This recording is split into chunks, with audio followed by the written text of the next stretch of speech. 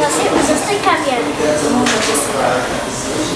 Mohli by ste si dať kávičku, pivečko, čajík a všelijaké sladkosti, napríklad keksy alebo tak.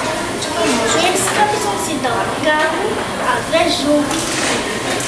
A spať. Rada vás obslužím. Môžete prísť aj keď máte aké počasie. Tešíme sa na vás. Dovidenia.